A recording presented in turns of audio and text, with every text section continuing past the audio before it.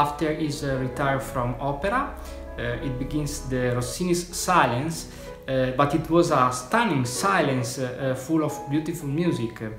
Um, during the last years of his life, he wrote Péché de Vieillesse, a, a huge collection of little pieces in 14 volumes, written in Paris mainly for piano solo, but also chamber music and a lot of vocal scores this volume 8 of the first complete recording of uh, Péché de for Naxos uh, combines uh, piano works with chamber and vocal music. I really enjoy recording this CD uh, since uh, although I am a veteran of uh, Rossini's uh, um, piano works, uh, but this is the first time I play his chamber music.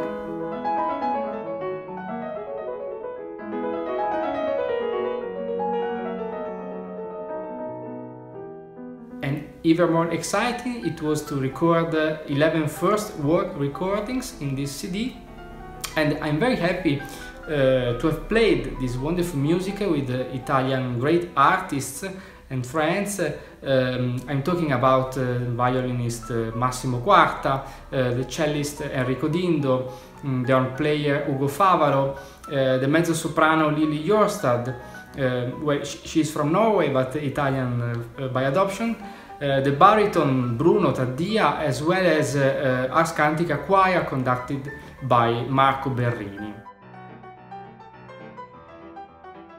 These pieces are full of novelty, irony, beautiful melodies and uncommon harmonies.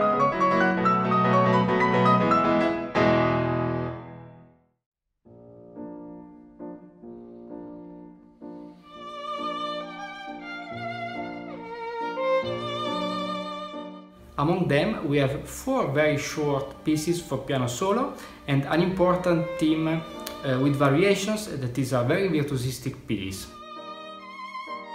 Then Allegretto and Melody for violin with Massimo Quarta.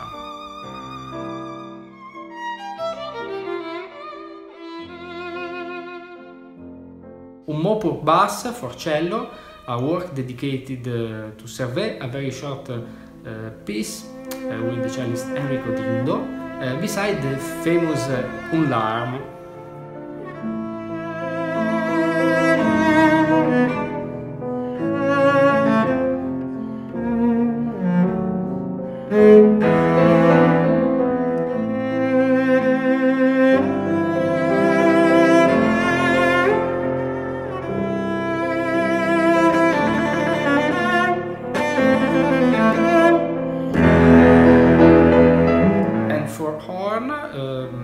with Ugo Favaro, uh, the theme and variations.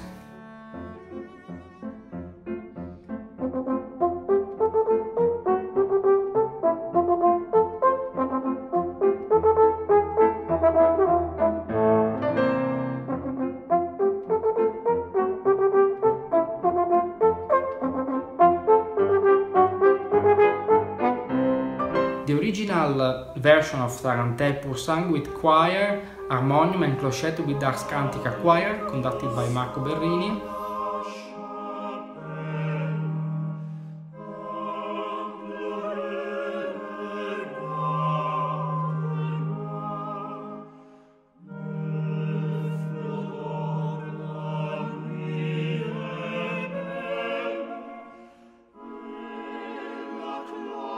And with baritone Bruno Taddia uh, we recorded L'ultimo pensiero that I found at Fond Shot in Bruxelles and Sonia il Guerrier uh, with text by Metastasio.